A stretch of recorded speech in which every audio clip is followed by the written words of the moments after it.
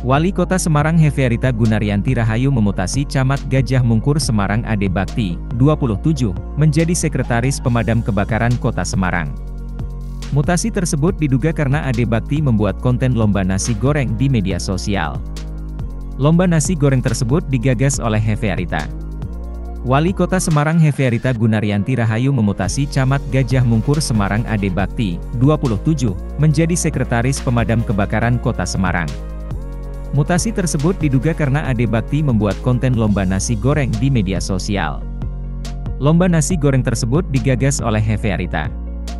Konten itu diduga menyindir wali kota Semarang, yang menggelar lomba nasi goreng untuk merayakan HUT RI.